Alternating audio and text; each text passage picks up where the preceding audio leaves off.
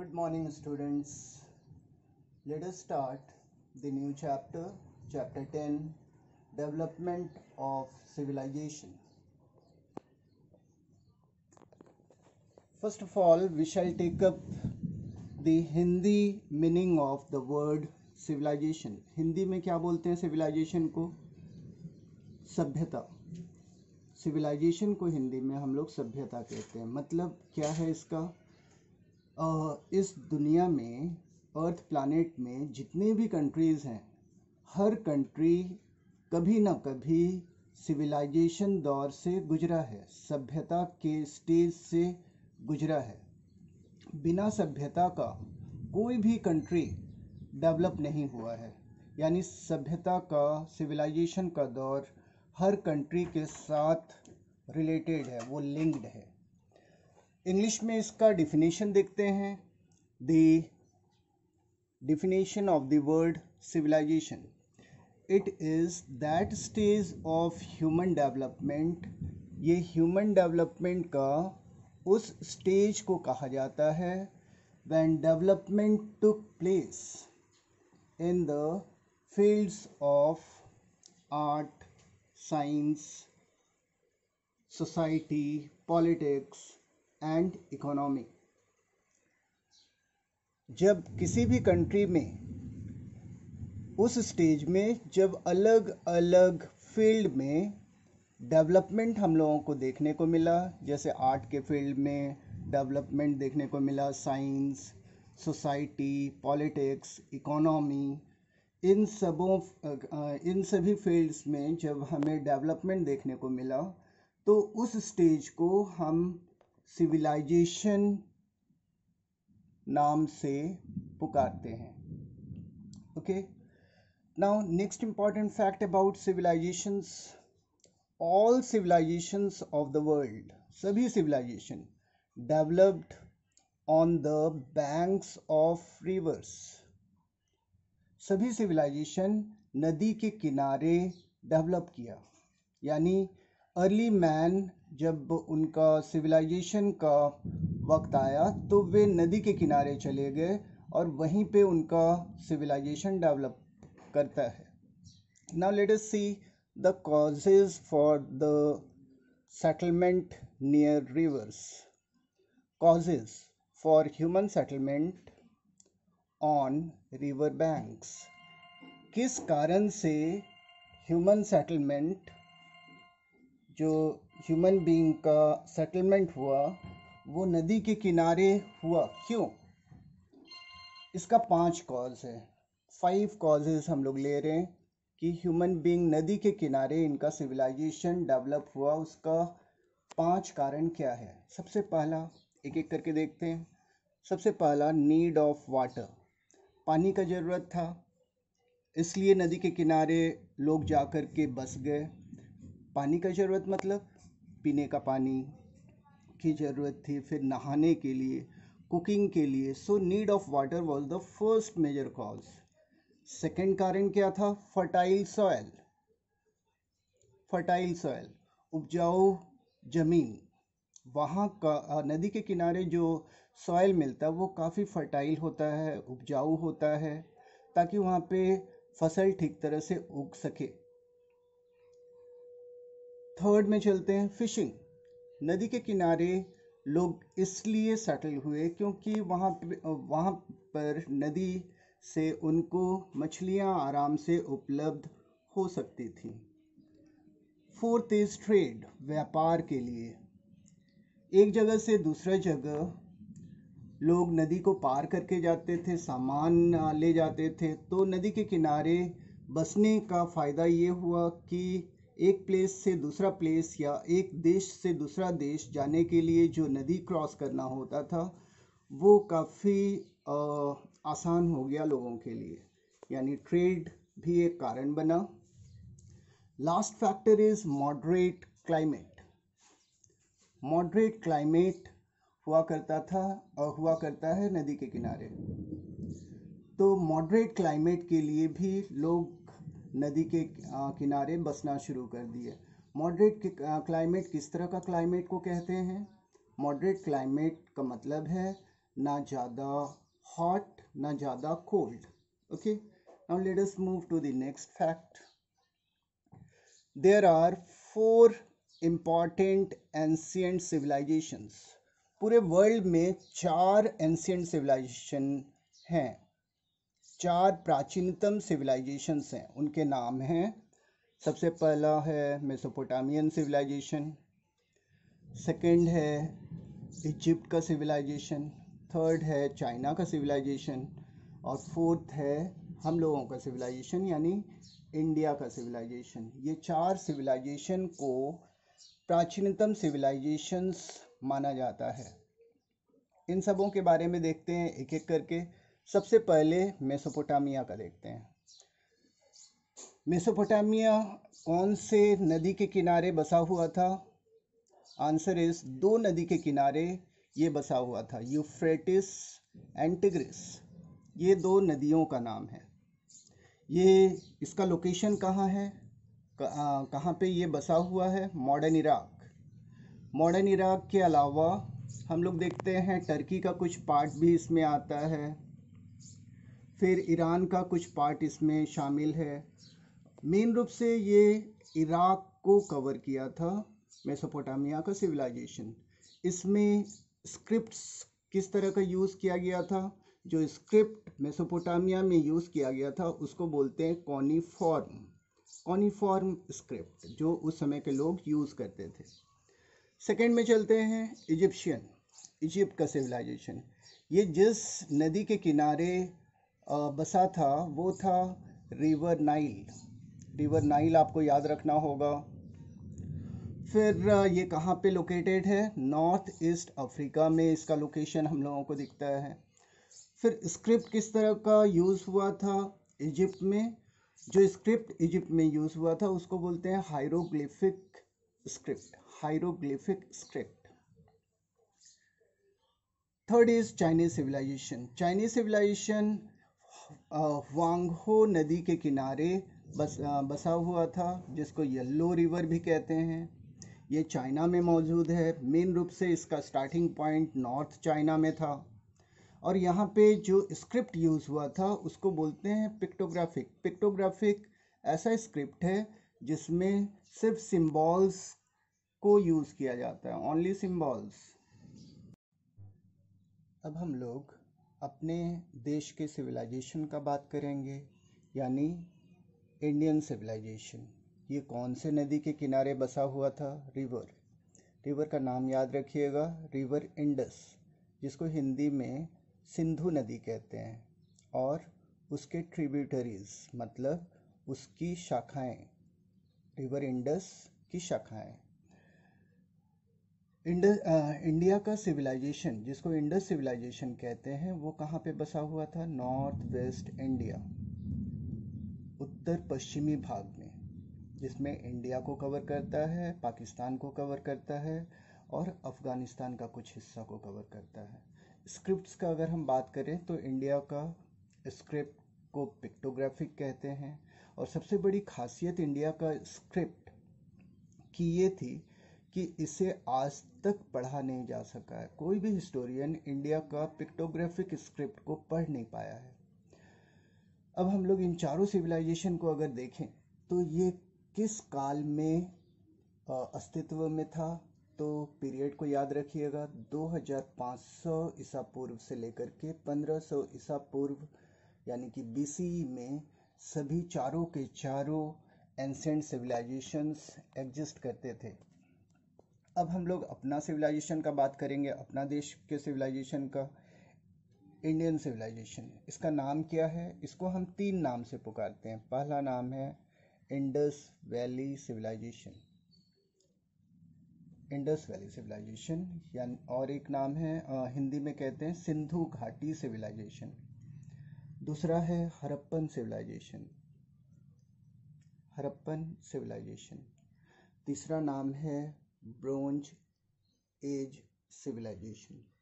इनको ये नामकरण क्यों दिया गया है उसके बारे में हम लोग जानकारी ले लेते हैं। सबसे पहला इंडस वैली सिविलाइजेशन इसको क्यों कहा जाता है? इसलिए कहा जाता है क्योंकि ये रिवर इंडस और उसकी ट्रिब्यूटरीज यानी शाखाओं के बीच अ, के किनारे बसा हुआ था। इसलिए इसको इंडस वैली सिविलाइजेशन कहा जाता है। इसको हड़प्पा सिविलाइजेशन क्यों कहते हैं? इसलिए कहते हैं क्योंकि जब इसकी खुदाई हुई थी तो हड़प्पा पहला टाउन था जिसकी खुदाई हुई थी। उसी को आधार बना बनाकर इस सभ्यता को हड़प्पा सिविलाइजेशन का नाम दिया जाता है। थर्ड में चलते हैं। इसे ब्रोंज एज सिविलाइजेशन क्यों कहते हैं? क्योंकि इस समय ब्रोंज मेटल का यूज़ होता था। आयरन मेटल का यूज़ नहीं होता था। आयरन बाद में आया है। जब इंडस वैली सिविलाइजेशन था, उस समय सिर्फ़ ब्रोंज मेटल का यूज़ होता था। ब्रोंज मेटल कैसे बनता है? ब्रोंज इसको दो मेटल को मिला करके बनाया जाता है। एक कॉपर और दूसरा टीन कॉपर और टीन को मिक्स करके जो मेटल बनता है, उसको ब्रोंज मेटल कहते हैं, यानी कि इस समय ब्रोंज का प्रयोग हो रहा था आयरन का नहीं। अब हम लोग नेक्स्ट फैक्ट में चलते हैं। हम लोगों के सिविलाइजेशन में इंडिया का सिविलाइजेशन में दो पॉपुलर एंड इंपॉर्टेंट सिटीज़ का नाम आता है, जो बहुत ही इंपॉर्टेंट है। पहला, हड़प्पा, दूसरा, मोहनजोदाड़ो। इन दोनों के बारे में थोड़ा जानकारी ले लेते हैं। हड़प्पा टाउन को कब धरती के अंदर से उत्खनन करके एक्सकावेट करके, खोद करके कब निकाला गया था? आंसर है 1921 में। कब? 1921 में। और जो हिस्टोरियन जो आर्कियोलॉजिस्ट हड़प्पा टाउन को खोद करके निकाला था एक्सकावेट करके निकाला था, उसका नाम है दयाराम साहनी। नाम याद रखिएगा, दयाराम साहनी। हड़प्पा टाउन को एक्सकावेट किया था। और ठीक उसका दूसरा साल, यानी 1922 में मोहनजोदारो की खुदाई हुई थी। मोहनजोदाड़ो भी हड़प्पा की तरह ही दूसरा एक टाउन का नाम है। इसकी खुदाई कौन किया था? इसे कौन बाहर निकाला था? उसका नाम है आर डी बैनर्जी। ये हिस्टोरियन है, आर डी बैनर्जी, राखाल दास बैनर्जी। ये दोनों ही, यानी कि दयाराम साहनी और आर डी बैनर्जी किसके अंडर में काम करते थे? जॉन मार्शल के अंडर में काम करते थे। जॉन मार्शल कौन थे? He was the director general of archaeological department of India archaeological department का काम होता था कि धरती के अंदर से जो प्राचीन काल की वस्तुएँ हैं, उसको उत्खनन के द्वारा बाहर निकालना और उसका अध्ययन करना। उसका डायरेक्टर जनरल यानी हेड था जॉन मार्शल इन्हीं के अंडर में दयाराम साहनी और रखाल दास बैनर्जी काम करते थे। इन्हीं के गाइडेंस में सारा काम किए थे। अब हम लोग देखते हैं टोटल साइट्स कितना निकला। कितना टाउन्स इंडस वैली सिविलाइजेशन में निकला है। आपको जानकर हैरानी होगी बच्चों कि more than 1500 sites were discovered 1500 से ज़्यादा टाउन्स को एक्सकावेट करके निकाला गया। पाकिस्तान में कितना है? Total sites out of 1500 475 sites केवल पाकिस्तान में अभी भी मौजूद है। और दूसरा इंडिया में कितना है? 925 साइट्स और कुछ साइट्स हम लोग देखते हैं अफ़गानिस्तान में भी आ, पाया जाता है। ये फिगर को याद रखिएगा। नेक्स्ट फैक्ट में चलते हैं। अदर इंपॉर्टेंट साइट्स हड़प्पा और मोहनजोदाड़ो के अलावा और क्या इंपॉर्टेंट साइट्स था टाउन्स जो इंपॉर्टेंट था, उसका क्या क्या नाम था? ये नाम आपको याद करना होगा। एक था कालीबंगन, दूसरा था लोथल, तीसरा था रोपर, चौथा था कोट डीसी, पांचवा था धौलावीरा, सातवां था सुतका गेंडोर। तो ये सब इंपॉर्टेंट साइट्स है। टाउन्स का नाम है जो कि इंडस वैली सिविलाइजेशन में मौजूद था, पाया गया। ये नाम आप याद कर लीजिएगा। उसके बाद आगे बढ़ते हैं तो हम लोग देखते हैं टाउन प्लानिंग इसका टाउन प्लानिंग इस बात को याद रखिएगा कि हम लोगों का जो सभ्यता है इंडस वैली सिविलाइजेशन या हड़प्पा सिविलाइजेशन उसकी सबसे बड़ी खासियत यही थी दी टाउन प्लानिंग यानी उसका जो, वो उसमें जो शहर बसा हुआ था, वो व्यवस्थित था, ठीक तरह से नियोजित करके, यानी प्लानिंग करके उसे बसाया गया था। इस अब हम लोग देखते हैं किस तरह से टाउन को बसाया गया था इंडस वैली सिविलाइजेशन में। Cities were divided into two parts cities को, हर शहर को दो भाग में बांटा गया था। एक को बोलते हैं सिटाडेल या अपर टाउन, सिटाडेल और अपर टाउन, दूसरा को बोलते हैं लोअर टाउन। सबसे पहले बात करेंगे सिटाडेल अपर टाउन। ये कैसा था? किसको कहते थे? जो अपर टाउन होता था, यानी सिटाडेल, वहाँ पे पब्लिक बिल्डिंग्स हुआ करता था। जितने भी पब्लिक बिल्डिंग्स होते थे, उनको सिटाडेल में बसाया जाता था। और ये वॉल से सराउंडेड था। ये दीवारों से इसको घेर घेर करके रखा जाता था ताकि दुश्मन इस पर अटैक ना कर सकें। और नदी का पानी बाढ़ जब आता था तो उससे बच सके। तो इसलिए इसको लार्ज वॉल से सराउंड किया जाता किया गया था इंडस वैली सिविलाइजेशन को। नेक्स्ट उसका फीचर को देखें तो यहाँ पे एक ग्रेट बाथ मिला है। इंडस वैली में एक ग्रेट बाथ मिला है, नहाने का एक बिल्डिंग ये कहाँ पे है? ये मोहनजोदाड़ो में है. याद रखिएगा, हड़प्पा से भी ज़्यादा बड़ा टाउन ज़्यादा डेवलप्ड टाउन मोहनजोदाड़ो था. And it was the second town which was excavated अब इस ग्रेट बाथ का कितना लंबाई, चौड़ाई और गहराई था, उसको याद कर लीजिएगा। इसका लेंथ था 12 मीटर इसका विथ था 7 मीटर चौड़ाई था 7 मीटर एंड डेप्थ इसका गहराई था 2.4 मीटर इस ग्रेट बाथ का और एक खासियत क्या था? इसमें पानी की सप्लाई दी जाती थी रोज़, और इससे पानी को ड्रेन ड्रेन किया जाता था। पानी को निकासी किया जाता था। ड्रेनेज सिस्टम, यानी ड्रेन किया जाता था पानी को। ओके? और ग्रेट बाथ का प्रयोग क्या चीज़ में किया जाता था? It was use for religious purposes धार्मिक कामों के लिए इस ग्रेट बाथ का प्रयोग किया जाता था। मान लीजिए कि पूजा पाठ करने जा रहे हैं तो लोग हो सकता है कि इस ग्रेट बाथ में पहले नहाते थे और उसके बाद पूजा पाठ करने जाते थे। आगे चलते हैं हम लोग। ये जो टाउन प्लानिंग था town planning was based on grid system ये ग्रीड सिस्टम पे बेस्ड था। ये किस पे आधारित था? ग्रिड सिस्टम ग्रिड सिस्टम का मतलब क्या है? जाल टाइप का बना हुआ। तो इसमें रोड्स और स्ट्रीट्स जो था, वो ग्रिड सिस्टम में बटा हुआ था। इतना सुंदर इसका प्लानिंग था कि आज हम लोग देख करके काफ़ी हैरान होते हैं कि आज से लगभग पाँच हज़ार साल पहले टाउन बसा हुआ था, वो भी इतना डेवलप्ड नेक्स्ट फैक्ट में चलते हैं। इंडस वैली सिविलाइजेशन का बिल्डिंग्स ये जो बिल्डिंग्स हुआ करता था, ये या तो एक मंजिला होता था या दो मंजिला होता था या कहीं कभी कभी कहीं कहीं पे हम लोग तीन मंजिलों का भी अवशेष देखते हैं। दो मंजिला मकान, एक मंजिला मकान मुख्य रूप से था और कभी कभी तीन मंजिला मकान भी हम लोगों को दिखता है। हर घर का दरवाज़ा गली की तरफ़ खुलता था।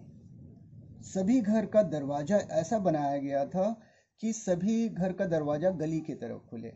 और घर के, किस चीज़ का बना हुआ होता था? बर्न ब्रिक्स यानी कि ईंटों को पका करके यूज़ किया जाता था और स्टोन्स का प्रयोग किया जाता था। यहाँ तक कि लकड़ियों का भी प्रयोग किया जाता था घर को बनाने के लिए। लेकिन मुख्य रूप से बर्न ब्रिक्स और स्टोन्स का प्रयोग किया जाता था बिल्डिंग्स को बनाने के लिए। अब हम लोग ड्रेनेज सिस्टम का बात करें। ड्रेनेज सिस्टम इंडस वैली का सबसे हैरान करने वाला है। ड्रेनेज सिस्टम का क्या मतलब है? नाली का जो निर्माण हुआ था उस समय उसका सिस्टम। ये अंडरग्राउंड था। नालियाँ जो मिली हैं वो अंडरग्राउंड वे में आ, बनाया जाता था and the drains were covered वो कवर किया जाता था। ऊपर से उसको कवर कर दिया जाता था। और जितने भी घर में छोटी छोटी नालियाँ हुआ करती थी सबको कनेक्ट किया जाता था बिग ड्रेन से बड़े नाली से उसको कनेक्ट कर दिया जाता था। हर घर में नालियाँ बनी हुई थी जैसे किचन में बाथरूम में छोटी छोटी नालियाँ और उसके बाद गलियों में जो नालियाँ होती थी उससे कनेक्ट कर दिया जाता था। गलियों की नालियाँ कंपेरेटिवली थोड़ा बड़ा होता था in compare to the drains of houses और फिर uh, वो बड़ा नाला से बिग ड्रेन से उसको कनेक्ट कर दिया जाता था। यानी कि हर पानी एक दूसरे से नाली का पानी एक दूसरे से कनेक्टेड हुआ करता था। Let us move to the next topic granary granary का मतलब होता है स्टोर हाउस जहाँ पे अनाजों को सुरक्षित जमा करके रखा जाता था ताकि विपत्ति में उसको निकाल करके यूज़ किया जा सके। तो ग्रैन, ग्रैनरी भी हम लोगों को बहुत सारा मिला। ये कहाँ कहाँ मिला? तीन जगह मिला है। लोथल में मिला है, हड़प्पा में मिला है एंड कालीबंगन में मिला है। ये तीन जगह मिला है। यहाँ पे सरप्लस ग्रेन को स्टोरेज किया जाता था। सरप्लस ग्रेन्स वेयर स्टोर्ड छह ग्रेनरीज हड़प्पा में मिला है। हालाँकि सबसे बड़ा ग्रेनरी बिगेस्ट ग्रेनरी मोहनजोदाड़ो में हम लोगों को मिला है। मोहनजोदाड़ो जो शहर है उस हम जैसे आपको बताया सबसे बड़ा शहर है और मोहनजोदाड़ो एक ऐसा शहर है जिसका अर्थ होता है मोहनजोदाड़ो वर्ड का अर्थ होता है माउंट्स ऑफ़ द डेड यानी जहाँ डेड बॉडीज का ये ज, आ, का जगह माउंट्स ऑफ़ द डेड का क्या मतलब है? डेड बॉडीज़ का जगह। जब यहाँ पे उत्खनन हुआ तो चारों तरफ़ डेड बॉडीज़ का मिलना, मिलने के कारण हिस्टोरियंस इसका नाम दिए रख दिए मोहनजोदाड़ो अब हम लोग नेक्स्ट एंड लास्ट फैक्ट पे चलेंगे रोड्स इंडस वैली सिविलाइजेशन में जो रोड बना हुआ था, वो नॉर्थ साउथ डायरेक्शन में बना हुआ था। नॉर्थ साउथ डायरेक्शन में रोड बनता था। और सबसे आश्चर्य का बात है कि जितने भी रोड्स और स्ट्रीट्स बनाए गए थे, वे एक दूसरे को cuts eat each other interact each other at right angle यानी 90 डिग्री में 90 डिग्री में वे एक दूसरे को काटते थे 90 डिग्री में। यानी कि राइट एंगल बनता था हर रोड जब एक दूसरे को क्रॉस किया जाता था तो हम लोग क्या देखते हैं? इस तरह से town planning Indus valley civilization का काफ़ी विकसित था और हमें खुद पे नाज होती है कि हमारा जो सभ्यता थी वो इतना विकसित था। Patience which comes under economy okay so let us see the occupation और economy of Harappa civilization were the main occupations of the people on that time? Main occupation, farming, खेती करते थे विभिंग बुनाई करते थे पोटरी घड़ा बनाते थे टॉय मेकिंग खिलौना बनाते थे मेटल वर्क मेटल से रिलेटेड काम करते थे एंड ट्रेडिंग व्यापार करते थे। नेक्स्ट इज़ स्टेपल फ़ूड उनका मेन फ़ूड खाने का क्या था? Answer is wheat and barley ये कॉमनली प्रैक्टिस था सभी जगह हड़प्पा सिविलाइजेशन में। Wheat and barley was the staple food of Harappan people हालाँकि हम लोगों को राइस का भी एविडेंस मिला है। Rice was also cultivated during that time now let us move to the next heading methods of irrigation irrigation word को समझिए। जब हम खेती करते हैं तो खेतों में पानी देते हैं तो ये पानी देना को इरिगेशन वर्ड से बतलाया जाता है इरिगेशन जिसको हिंदी में सिंचाई कहते हैं। तो पानी का, खेतों के लिए पानी का क्या क्या स्रोत था? कैनाल्स जो कि हरप्पा में मिला है फिर वाटर रिजर्वायर्स जैसे लेक्स हो गया पॉन्ड्स हो गया वाटर रिजर्वायर्स का क्या मतलब है? मतलब कि जहाँ पे पानी को रिज़र्व किया जाता था स्टोर किया जाता था। ओके ये आर्टिफिशियल और नेचुरल दोनों हो सकता है। देन वेल्स का यूज़ करते थे खेतों में पानी देने के लिए। Now the next topic domestication of animals कौन कौन से जानवर को वे पालते थे? हरप्पा के लोग। तो बहुत सारे जानवर हैं। ऑक्स, बैल, बफेलो, यानी भैंस, गोट, बकरी, शीप भेड़, पिग, सुअर and camel these are the animals which was which were domesticated by the Harappan people one unique thing about the Harappan uh, civilization was that we see the absence of two major animals cows and lions. Cows and lions were absent. That means we didn't have we uh, don't have any evidence which could prove the existence of cow and lion in the indus valley civilization. Let us move to the next one.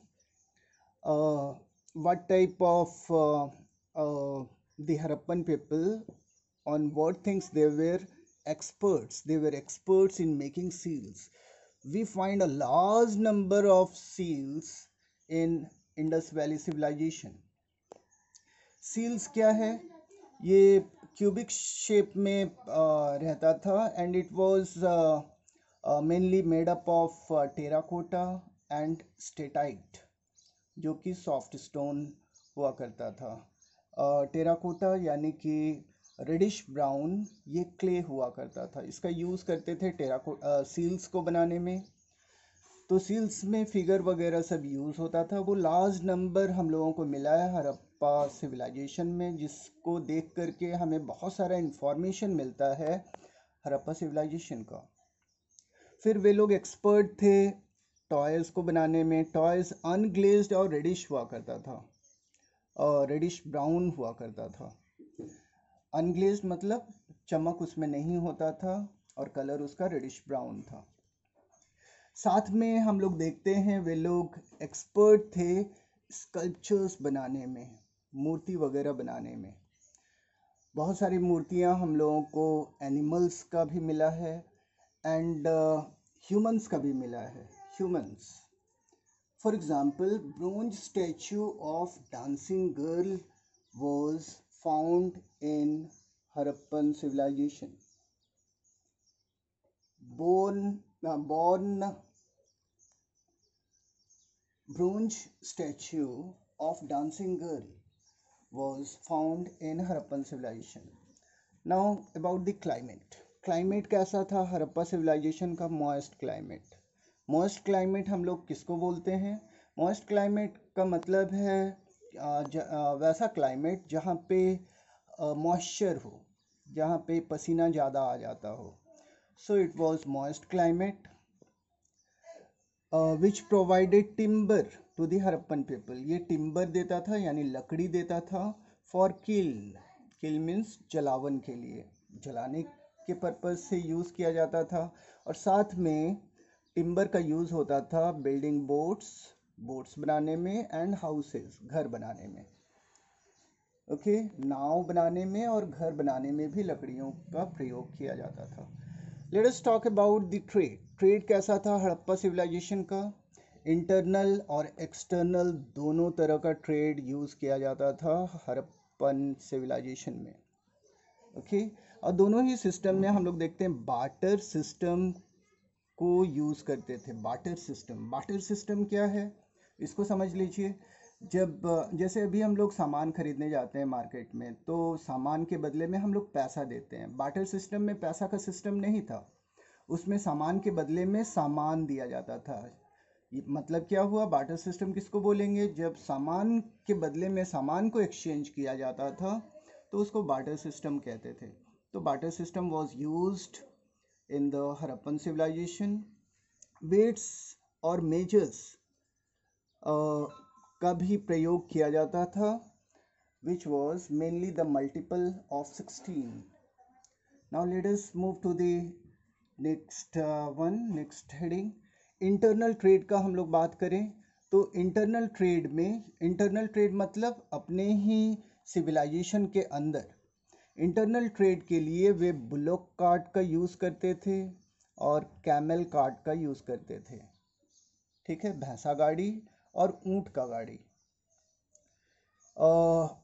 जो जो internal trade होता था, वो कर्नाटक से gold लाया जाता था। फिर फॉर एग्ज़ाम्पल ये एग्ज़ाम्पल के रूप में देखते हैं। फिर कॉपर लाया जाता था। खेतरी से। Where is Khetri Khetri is in Rajasthan वहाँ से कॉपर का ट्रेड किया जाता था।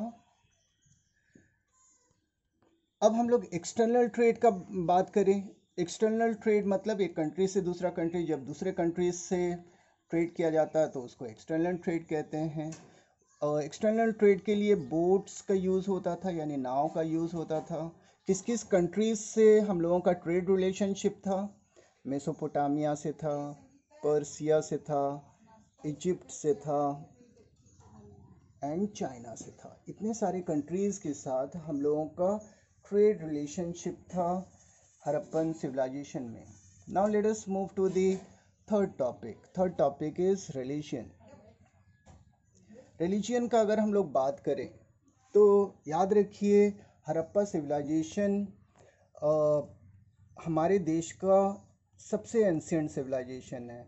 यानी उसका धर्म काफ़ी मायने रखता है हम लोगों के लिए। अगर धर्म का हम लोग बात करें तो सोर्स ऑफ़ इंफॉर्मेशन रिलीजन का क्या है?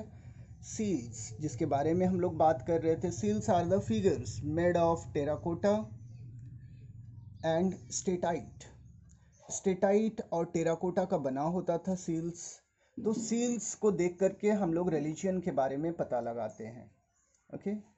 नाउ, नेक्स्ट इज़ उनका रिलीजन कैसा था? They use to worship nature nature को वे वर्शिप करते थे। यहाँ पे ये भी याद रखने वाली चीज़ है कि जितने भी एंसेंट सिविलाइजेशन हुए अर्ली मैन वे नेचर को ही सबसे पहले पूजा करना शुरू किए। ओके सो हरप्पन पीपल भी वही काम किए। वे किस तरह का नेचर को अपना गॉड मानते थे? एनिमल्स को अपना गॉड मानते थे। बर्ड्स को अपना गॉड मानते थे। ट्रीज को अपना गॉड मानते थे। ओके एनिमल्स में बात करें तो हम बुल्स का एविडेंस हम लोगों को मिलता है। ऑक्स का राइनोसेरस का, ये सब एनिमल्स को पूजा जाता था, ऐसा हम लोग कह सकते हैं।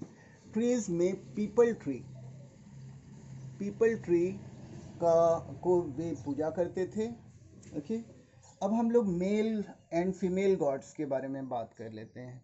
मेल गॉड यानी लड़का, भगवान, क्या होता था?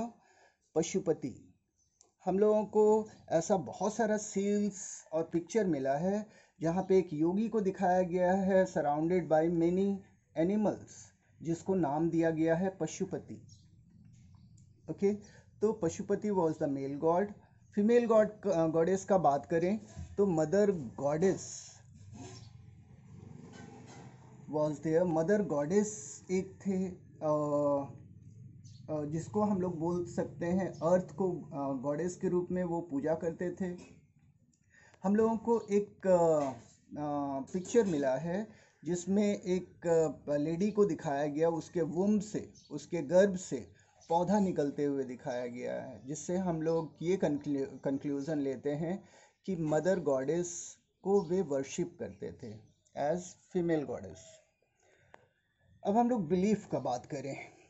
क्या बिलीफ था इनका religiously they use to believe in life after death way life after death पे बिलीव करते थे यानी मरने के बाद भी जीवन है।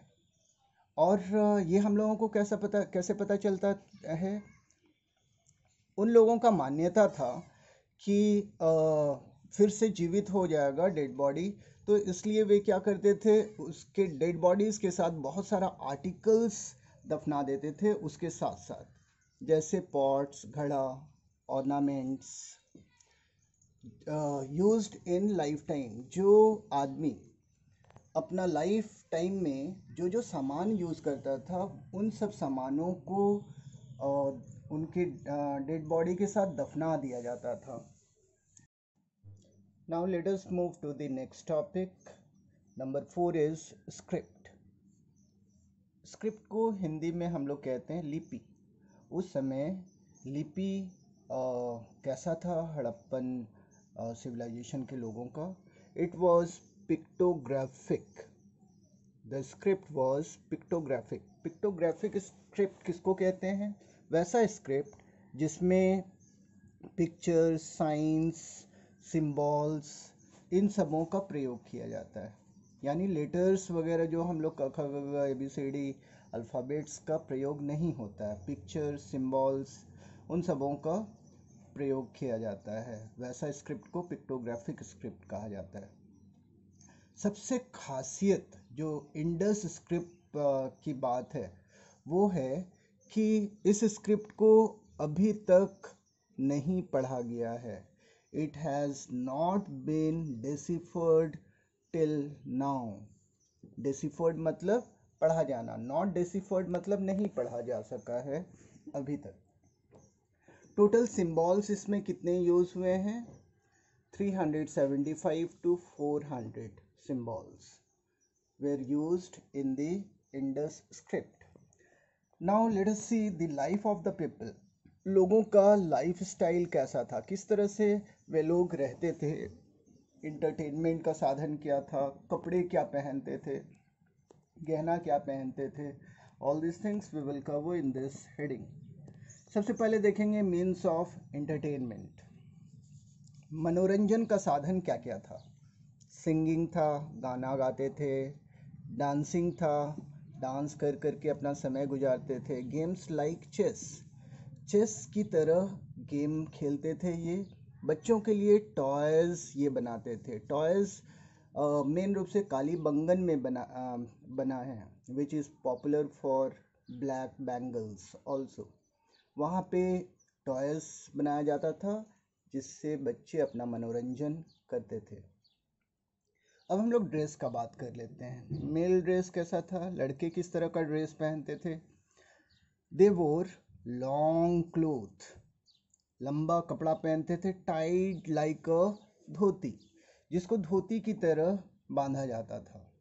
फीमेल ड्रेस का अगर हम लोग बात करें तो इनका भी ड्रेस लंबा होता था they use to wear long lehenga with shawl और साथ में शॉल भी लेते थे। ये कपड़े क्या चीज़ का बना होता था? They were made up of cotton they were made up of cotton cotton का बना हुआ होता था।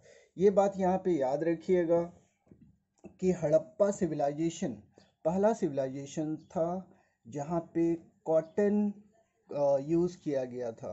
यानी कि कॉटन का यूज़ को सबसे पहले डिस्कवर अगर कोई सिविलाइजेशन किया है तो वो हड़प्पा सिविलाइजेशन के लोग थे।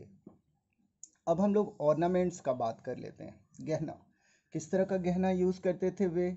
नेकलेस पहनते थे रिंग्स यानी अंगूठी पहनते थे बैंगल्स बैंगल्स यानी चूड़ी पहनते थे। और कॉस्मेटिक्स किस तरह का यूज़ करते थे? कॉस्मेटिक्स का क्या मतलब है? कॉस्मेटिक्स का मतलब है कि बॉडी को जो हम लोग सुंदर बनाने के लिए जिस जिस सामान का यूज़ करते हैं, उसको कॉस्मेटिक्स कहा जाता है। ओके तो कॉस्मेटिक्स फेस पाउडर वे यूज़ करते थे, काजल यूज़ करते थे।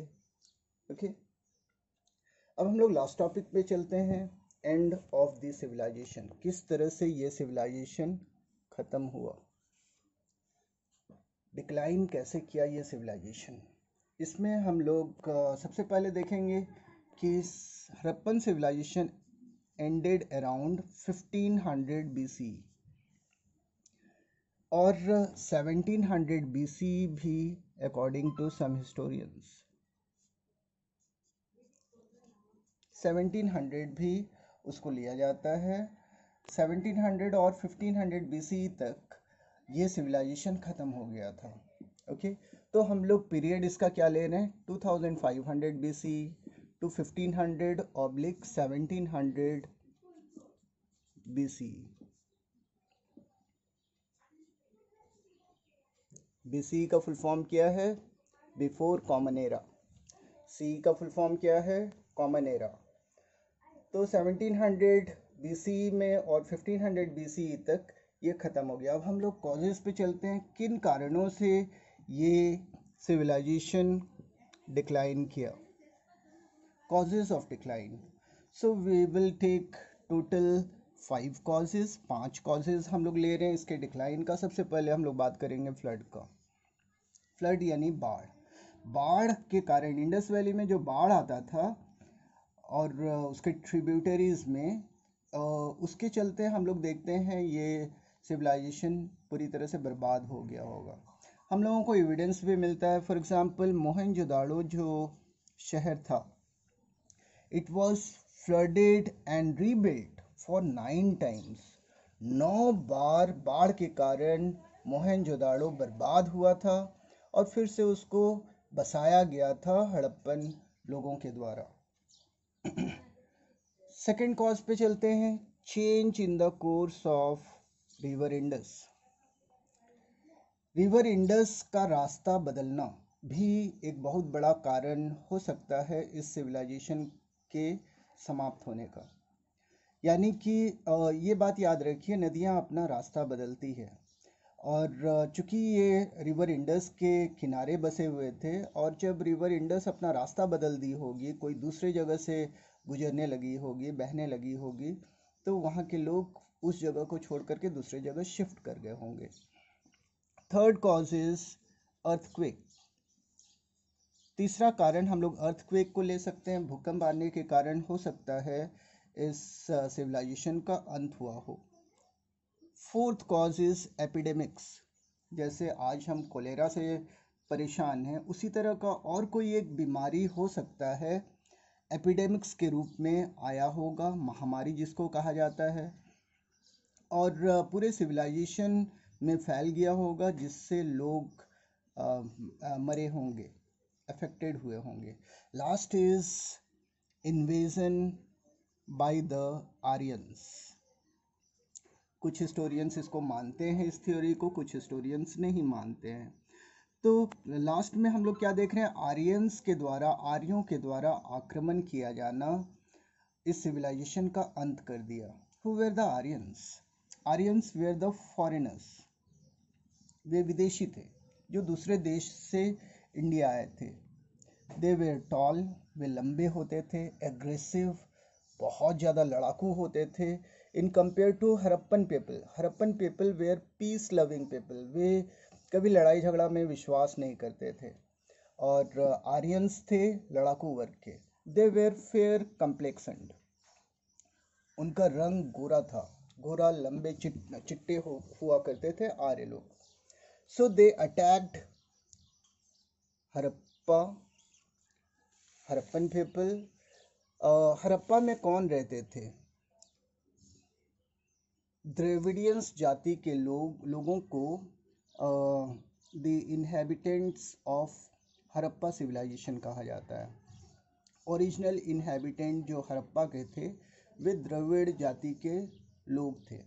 तो उनका नर, नरसंहार किया गया आर्यंस के द्वारा और इस तरह से इंडस वैली सिविलाइजेशन ख़त्म हो गया। आर्य का जो अटैक हुआ हड़प्पा में, उसका प्रूफ हम लोगों के पास क्या है? दो प्रूफ हम लोग लेते हैं। एक तो हड़प्पा के लोग आक्रमण के डर से वॉल चारों तरफ़ बनाए, बनाते थे सिटाडेल में। सिटाडेल को बचाने के लिए वे ह्यूज वॉल्स बनाते थे ताकि दुश्मन अटैक ना कर पाए। ये एक सबूत है। दूसरा सबूत है cut marks. In the dates found in Mohenjodaro Mohenjodaro में जो डेड बॉडीज़ मिला, उसमें हम लोग बहुत सारा कट मार्क्स देखते हैं और ये अनुमान लगाते हैं कि शायद ये आर्यंस के अटैक के कारण कट मार्क्स हुआ।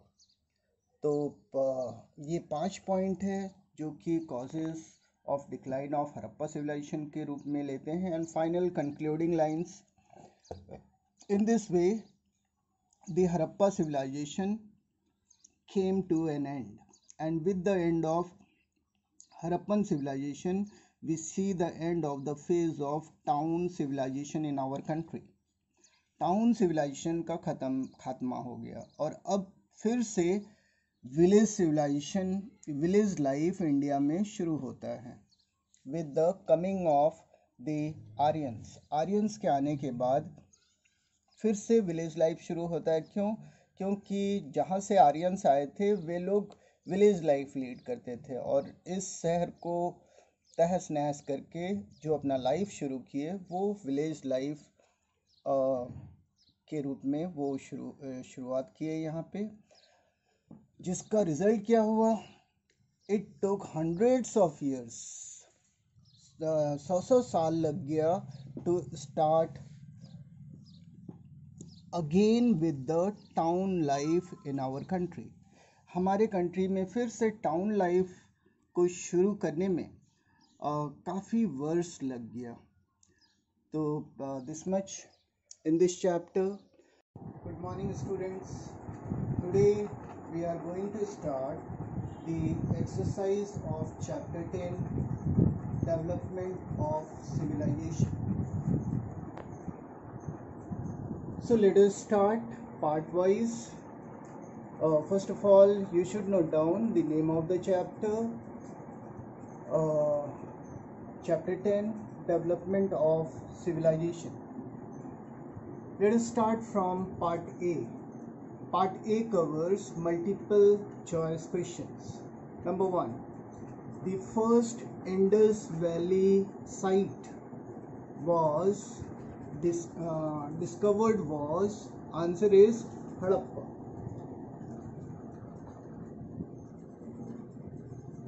Harappa was the first Indus valley site ये पहला इंडस वैली टाउन था जिसको उत्खनन करके एक्सकावेट करके निकाला गया था। Number two the Indus people used clothes made of Indus का क्लोथ्स किस चीज़ का बना होता था? आंसर इज़ कॉटन याद रखना है, हड़प्पा के लोग पहला लोग थे जो कि कॉटन को ग्रो करना शुरू किए थे। कॉटन का जानकारी सबसे पहले हड़प्पा, पीपल में ही देखने को मिलता है। Number three the Harappa terracotta pottery was उसका कलर कैसा था? टेराकोटा का, हड़प्पा टेराकोटा। वो रेड ब्राउन था। उसका कलर क्या था? रेड ब्राउन यहाँ पे टेराकोटा वर्ड पे गौर कीजिए। टेराकोटा क्या है? जो कि पिछला वीडियो में भी हम लोग देखे थे। टेराकोटा जब हम लोग मिट्टी को शेप देते हैं, किसी भी मिट्टी को, और उसको जब हम आग में पकाते हैं तो उस, उसका कलर क्या हो जाता है? रेड ब्राउन तो घड़ा को पकाया जाता था तो घड़ा किस कलर में आ जाता था? रेड ब्राउन कलर में आ जाता था। ओके? तो रेड ब्राउन कलर हुआ करता था, हरप्पा, टेराकोटा का, ये याद रखना है नंबर फोर ग्रेनरी ग्रेनरी किसको कहते हैं? स्टोर हाउस जो हड़प्पा सिविलाइजेशन में स्टोर हाउस था, यानी ग्रेनरी था, वहाँ पे कौन सा क्रॉप को it was a store house कौन सा क्रॉप को वहाँ पे स्टोर किया जाता था? आंसर है वीट वीट यानी गेहूँ. वीट एंड बार्ली जो कि हम लोग बात किए थे, वो स्टेपल फ़ूड में आता है इंडस वैली का। Next one the discovery of remains of dockyard dockyard का मतलब होता है बंदरगाह, जहाँ शिप आकर के फाइनली रुकती है और स्टार्ट होती है। उस जगह को डॉकयार्ड कहते हैं। तो ये बंदरगाह मिला है कहाँ पे? लोथल नाम का जगह में इंडस वैली सिविलाइजेशन में। लोथल नाम का के जगह में ये मिला है। इससे क्या प्रूव होता है? इससे क्या साबित होता है? इससे ये साबित होता है कि इंडस वैली के लोगों को इंटरनेशनल ट्रेड के बारे में पता था। They had international trade relations with the foreign countries so this was multiple choice questions now let us move to part B. Part B is fill in the blanks. So one by one we will see dash of human society lead to foundation of civilization human being का civilization का foundation कैसे हुआ foundation कहाँ से आया foundation आया development of human society से यानी कि जब ह्यूमन सोसाइटी डेवलप किया तब जाकर के सिविलाइजेशन का फाउंडेशन बना। नंबर टू द ग्रेट बात याद रखिएगा बच्चों ग्रेट बात जो है, वो मोहन जुदाड़ो का सबसे बड़ा और महत्वपूर्ण बिल्डिंग के रूप में उसको देखा जाता है। ये ग्रेट बात मोहनजोदाड़ो में पाया गया है। The great bath had well planned dash system क्या सिस्टम था वहाँ पे? वेल प्लान ड्रेनेज सिस्टम था, जो पानी ग्रेट बाथ में स्टोर होता था, उसको फाइनली ड्रेन करने का भी उसमें सिस्टम मौजूद था। उससे पानी को खाली किया जाता था, फिर पानी को भरा जाता था। ये काम रेगुलर प्रैक्टिस में था मोहनजोदड़ो का ग्रेट बाथ में। Number three, the making of Indus valley ware, the people of Indus valley were expert in making वे क्या चीज़ में एक्सपर्ट थे? इंडस के लोग स्पिनिंग एंड विभिंग याद रखिएगा स्पिनिंग एंड विभिंग में वे एक्सपर्ट थे इंडस वैली के लोग. ना point number four these are the main source of information about the religious beliefs Indus people का जो रिलीजियस बिलीव्स था उसका मेन सोर्स ऑफ़ इंफॉर्मेशन क्या है? कहाँ से हम लोगों को पता चलता है कि इंडस पीपल का रिलीजियस बिलीफ ये था? इस बात का पता हम लोगों को कहाँ से चलता है? आंसर इज़ सील्स सील्स के हम आ, के बारे में पिछला वीडियो में हम लोग बात किए थे। क्यूबिक शेप होता था सील्स और इसमें तरह तरह का फिगर सिम्बॉल्स वगैरह को एनग्रेव किया जाता था। तो सील्स को देख करके हम लोग, हम लोगों को काफ़ी कुछ इंफॉर्मेशन मिल जाता है रिलीजियस बिलीफ के बारे में इंडस सिविलाइजेशन के लोगों का। Now number five this was the male god male god का नाम बताना है। Worshipped by the Indus people जिससे इंडस पीपल वर्शिप करते थे। आंसर याद रखिएगा, पशुपति। पशुपति, किस तरह का हम लोगों को फिगर मिला है? एक योगी टाइप का आदमी को बैठे हुए दिखाया गया और चारों तरफ़, उसके चारों तरफ़ जानवर मौजूद रहते हैं, तरह तरह के जानवर मौजूद थे। तो उस योगी को पशुपति, यानी कि ऐसा अनुमान लगाया जाता है कि वो पशुपति थे, पशुओं का पति। याद रखिए, साथ में शिव को भी पशुपति की संज्ञा दी गई है। इसलिए ऐसा माना जाता है कि इंडस वैली के लोग पशुपति यानी शिव की पूजा भी करते थे। Now let us move to part C part C is true और फॉल्स ये हम क्वेश्चन नहीं लिखे हैं क्योंकि क्वेश्चन लिखते तो ब्लैक बोर्ड कवर हो जाता, जिसके चलते अदर क्वेश्चन हम लोग नहीं कर सकते थे। Pay attention number one number one क्या है? The cities were well planned in the Harappa culture Harappa culture में सिटीज़ वेल प्लान था। बिल्कुल सही। It is true so one is true number two the citadel was considered the central part of the city citadel central part था city का। It is true so mark we have mark true number three pottery was not a popular industry in Harappan culture. Harappan culture में pottery popular industry नहीं था. This is false.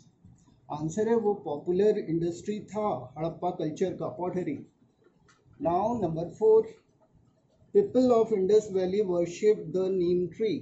Way neem tree को पूजा करते थे no it is false कौन सा tree को पूजा करते थे पीपल ट्री को पूजा करते थे now number five Mohenjodaro was rebuilt nine times at the same site Mohenjodaro को नौ बार उसी साइट में फिर से रिबिल्ड किया किया गया था। इट इज़ ट्रू नौ बार उसको हम लोग पिछला वीडियो में भी देख चुके हैं। Now let us move to the last part part D question number one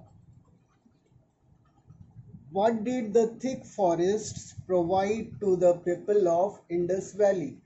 Indus valley का जो थिक फॉरेस्ट होता था, थिक फॉरेस्ट, वो क्या प्रोवाइड करता था वहाँ के लोगों को?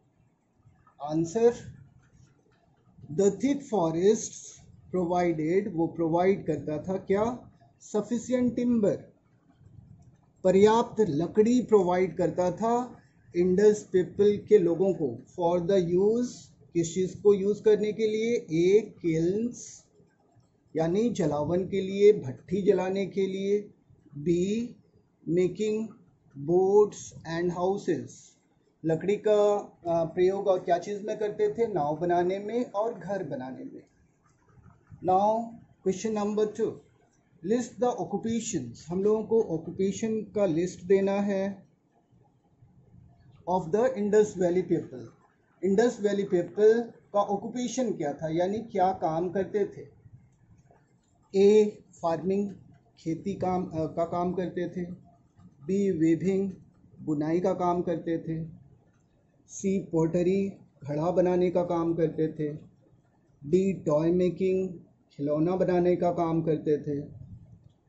ई मेटल वर्क मेटल से रिलेटेड काम वे करते थे।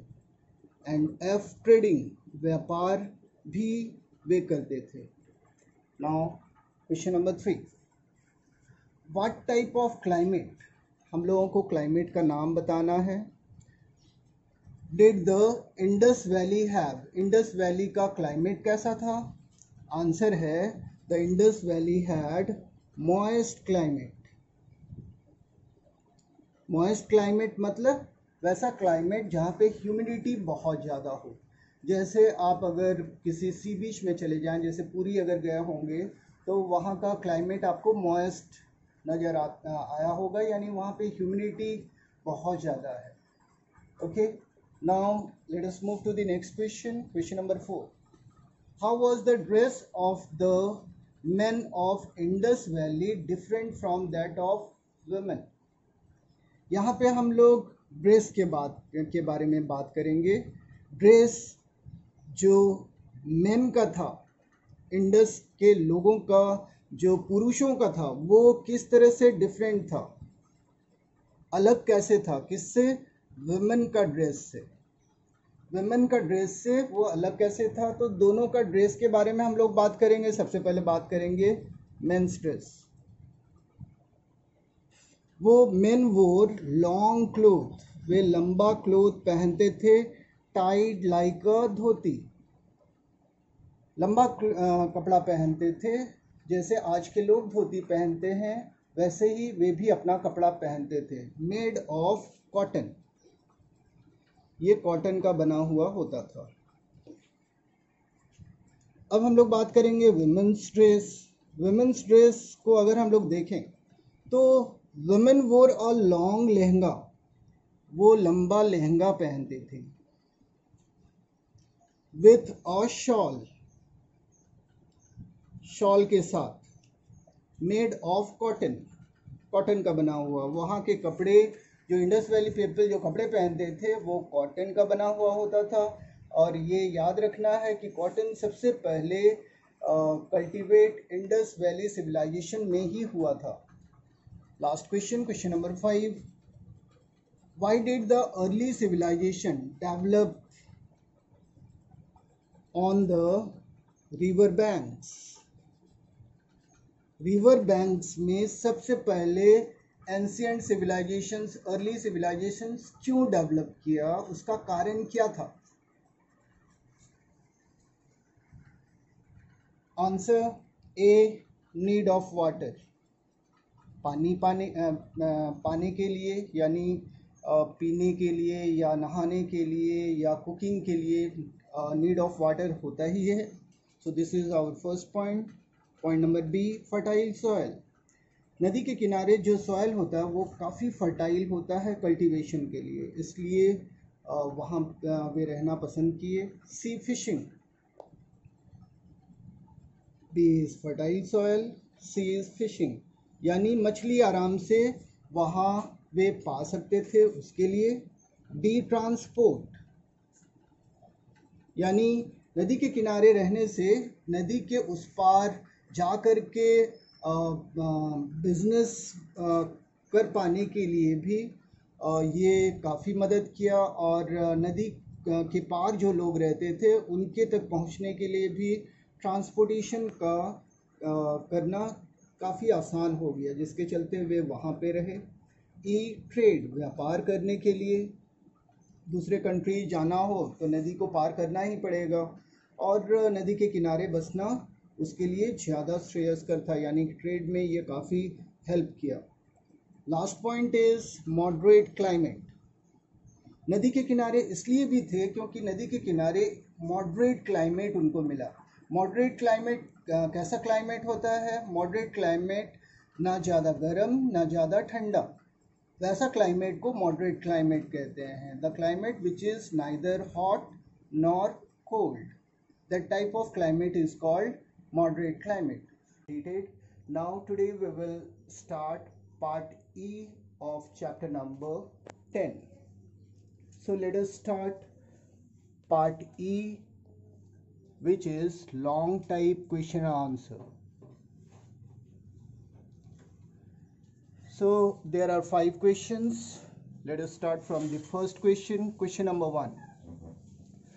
Three features हम लोगों को बतलाना है इंडस वैली सिविलाइजेशन के बारे में, जिससे ये पता चलता है कि वहाँ पे अर्बन सिविलाइजेशन था we have to mention three features of Indus valley civilization which tells that the Indus valley civilization was an urban civilization वो एक अर्बन सिविलाइजेशन था। अर्बन सिविलाइजेशन था मतलब?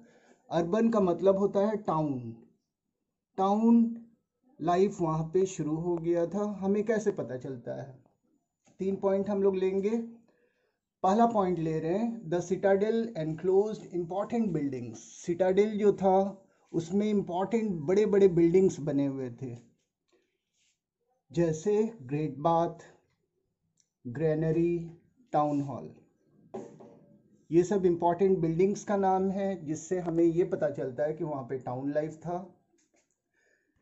सिटाडेल आप लोगों को याद होगा, वो सेंट्रल पार्ट हुआ करता था किसी भी इंडस वैली सिटीज़ का, ठीक है? और उसमें इंपॉर्टेंट बिल्डिंग्स बना हुआ था। जैसे ग्रेट बाथ मोहनजोदड़ो में आप लोगों को, आप लोगों को याद होगा ग्रेट बाथ कहाँ पे बना हुआ था? मोहनजोदड़ो। फिर ग्रैनरी हम लोग देखे जगह जगह बना हुआ था। छः ग्रैनरी हड़प्पा में था। सबसे बड़ा ग्रैनरी मोहनजोदाड़ो में था।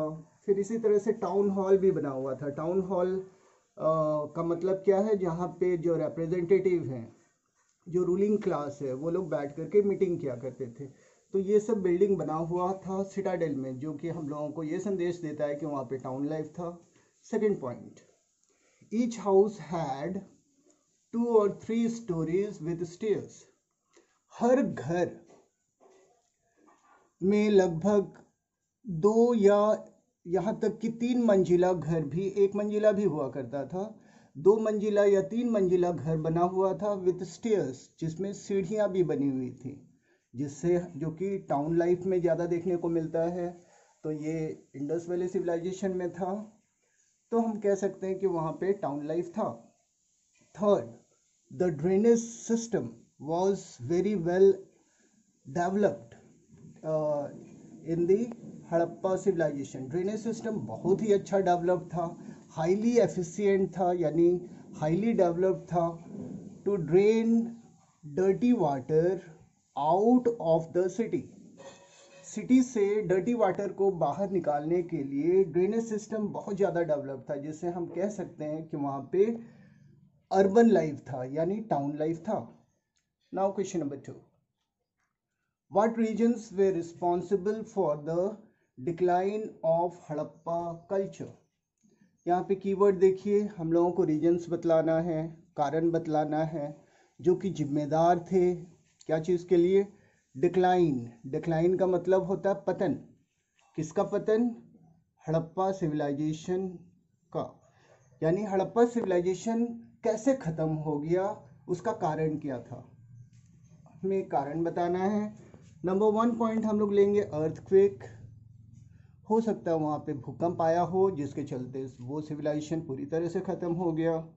Second is flood Indus valley में फ्लड बार बार हर साल आता था, जिससे अनुमान लगाया जाता है कि इंडस वैली बाढ़ के कारण समाप्त हो गया।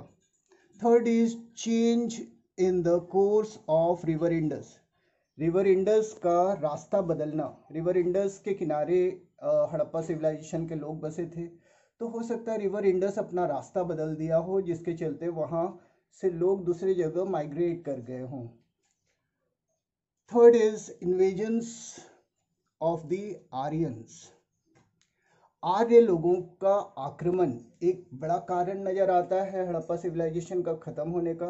ये आर्य लोग सेंट्रल एशिया से आए थे इंडिया और ये अटैक किए इंडस वैली पीपल के ऊपर जो कि द्रविडियंस थे पीस लविंग पीपल थे जो इंडस वैली में रहते थे, उन पर आक्रमण हुआ आर्यंस के द्वारा और ये सिविलाइजेशन ख़त्म हो गया।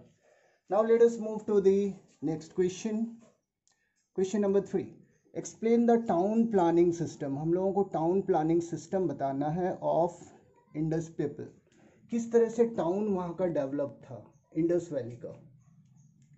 तो सबसे पहला पॉइंट हम लोग लेंगे कि cities were divided into two parts हर शहर वहाँ पे दो भाग में बटा हुआ था। पहला का नाम था सिटाडेल और अपर टाउन उसको कहते थे। दूसरा था लोअर टाउन। दो टाउन दो भाग में हर सिटी बटा हुआ था। एक को बोलते हैं सिटाडेल या अपर टाउन, ये ऊँचा भाग था। और दूसरा को बोलते हैं लोअर टाउन, ओके? दूसरा बनावट इसका क्या खासियत था? Citadel housed the ruling class. Citadel यानी अपर टाउन में रूलिंग क्लास रहते थे, जो रूल करते थे, वे लोग रहते थे वहाँ पे और इंपॉर्टेंट बिल्डिंग्स पब्लिक बिल्डिंग्स होता था सिटाडेल में। And lower towns lower towns में कौन रहते थे? कॉमन पीपल लोअर टाउन्स में कॉमन पीपल रहते थे। तो इस तरह से इसका बनावट था। थर्ड पॉइंट हम लोग देखते हैं। The houses were built on either side of the street street मतलब गली। वहाँ का और एक खासियत हम लोगों को देखने को मिलता है कि जितने भी घर बने हुए थे, वे स्ट्रीट के किनारे बने हुए थे। यानी गलियों के किनारे किनारे घरों को बनाया गया था। Number four all the streets cut each other at right angle जितने भी गलियाँ थी और जितने भी रोड बने गए, बने हुए थे वहाँ पे, वे एक दूसरे को राइट एंगल में काटते थे, जैसे कुछ ऐसा। ये कुछ ऐसा। ये 90 डिग्री में एक दूसरे को काटते थे। 90 डिग्री में एक दूसरे को काटते थे। स्ट्रीट्स का बनावट रोड का बनावट ही कुछ वैसा था। फिफ्थ पॉइंट हम लोग क्या देखते हैं? Small drains of the house were joint with main drains which was connected with big drains यहाँ पे लास्ट पॉइंट हम लोग, उसका बनावट का बात कर रहे हैं टाउन लाइफ टाउन प्लानिंग कैसा था। आपको जान करके आश्चर्य होगा स्टूडेंट्स की जितने घर थे, हर घर में स्मॉल ड्रेन्स बने बने हुए थे। कहाँ पे घरों में? किचन में बाथरूम में ड्रेन्स बने हुए थे। छोटे छोटे ड्रेन्स बने हुए थे। जिसको ज्वाइन किया जाता था मेन ड्रेन से। घर के बाहर जो मेन ड्रेन्स बहता था, उसके साथ उसको ज्वाइन कर दिया जाता था। और ये मेन ड्रेन्स आगे चल कर के बिग ड्रेन्स के साथ बड़े बड़े ड्रेन्स के साथ उनको जोड़ दिया जाता था और इस तरह से पानी का निकासी किया जाता था। Question number four which two things helped people of Indus Valley to have bumper harvest and how? Question number four में हम लोगों को बतलाना है। दो चीज़ बताइए जिससे कि इंडस वैली पीपल को बम्पर हार्वेस्ट करने में मदद पहुँचाया और कैसे? बम्पर हार्वेस्ट मतलब आ, फ़सल बहुत ज़्यादा प्रोड्यूस करने में उनको कौन सा दो कारक हेल्प किया? उसको बतलाना है और कैसे बतलाना है। तो टू थिंग्स सबसे पहले हम लोग बतलाएँगे जो कि इंडस वैली को हार्वेस्ट में बम्पर हार्वेस्ट में मदद किया। वो था, पहला था the annual floods of river Indus annual floods annual मतलब हर साल जो बाढ़ आता था रिवर इंडस में, वो काफ़ी मदद किया। सेकंड है मेथड्स ऑफ़ इरिगेशन इरिगेशन का मेथड्स जो अलग अलग था। इरिगेशन मतलब सिंचाई। ये दो चीज़ हम लोगों को मदद करता है। एक एक करके देख लेते हैं। Annual floods. एनुअल फ्लड्स यानी कि जो बाढ़ आता था, उसमें क्या होता था? It renewed and enriched the soil for good harvest अच्छा फ़सल पैदा करने के लिए हर साल जो बाढ़ आता था इंडस वैली में, उससे जो मिट्टी आती थी, वो उसके चलते काफ़ी उपजाऊ हो जाती थी मिट्टी और फ़सल बहुत ज़्यादा ग्रो होता था इंडस वैली में। Second is methods of irrigation यानी सिंचाई का साधन। इरिगेशन का मतलब होता है खेतों में पानी का व्यवस्था करना।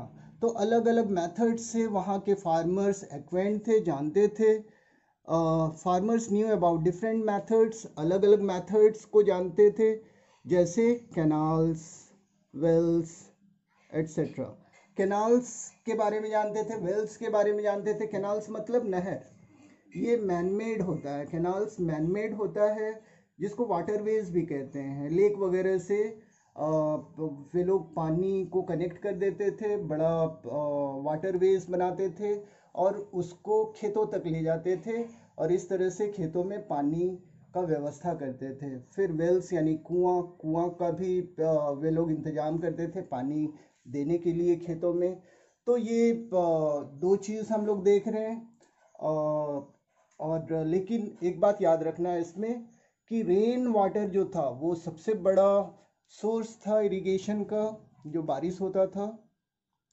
अब लास्ट क्वेश्चन चलते हैं question number five bring out the similarities and differences between the features of Indus valley civilization and Egyptian civilization in दोनों में हम लोगों को अंतर बतलाना है और सिमिलैरिटीज़ बतलाना है. इंडस वैली सिविलाइजेशन का सिमिलैरिटी और इजिप्शियन सिविलाइजेशन का सिमिलैरिटी सबसे पहले सिमिलैरिटी का बात करेंगे.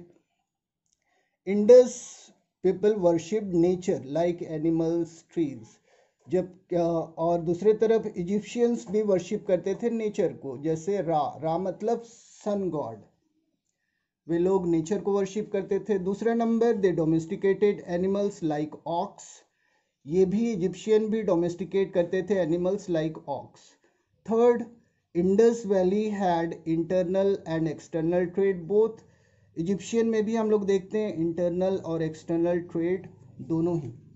तो ये था सिमिलरिटीज़ डिफरेंसेस का अगर हम लोग बात करें तो इंडस वैली रिवर इंडस के किनारे बसा था, मगर इजिप्शियन सिविलाइजेशन रिवर नाइल के किनारे बसा था।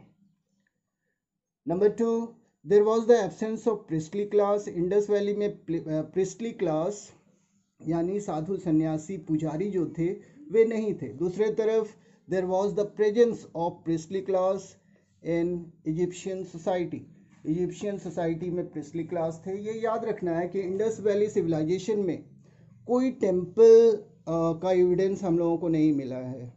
ठीक है? जिससे कि पिछली क्लास को हम लोग नहीं पाते हैं। थर्ड डिफरेंस देखते हैं।